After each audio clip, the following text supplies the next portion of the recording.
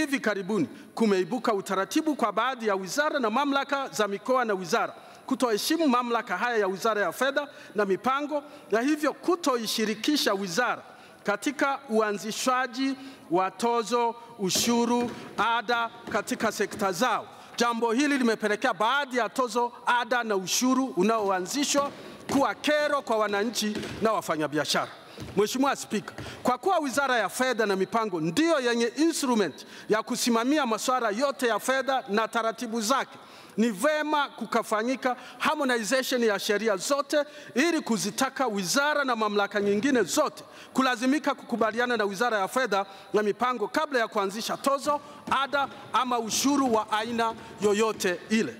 Usimamizi na utekelezaji wa sheria.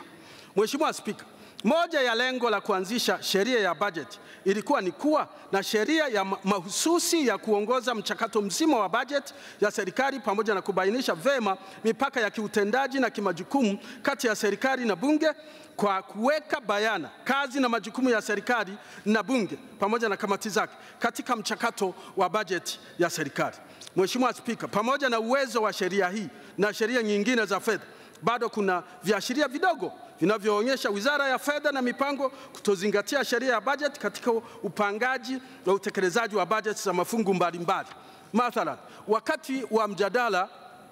huu wa bunge la bajeti, serikali kupitia Wizara um, ya Fedha na Mipango ilihamisha kiasi cha takriban shilingi bilioni 152 kutoka katika fungu 21 hazina kwenda TAMISEMI fungu 56 bilioni 33 kwenda ujenzi fungu 98 bilioni 90, kwenda elimu fungu 46 bilioni 29, pasipo kushauriana na kamati ya bajeti. Licha ya kuwa hapo awali kamati ya bajeti ilikwisha pitisha bajeti ya mafungu yote ya Wizara ya Fedha na Mipango kwa kuzingatia ukomo wa bajeti ambao umekuwa ukisisitizwa na Wizara ya Fedha na Mipango kwa mafungu yote. Kamati inaishauri Wizara ya Fedha na Mipango kuhakikisha inasimamia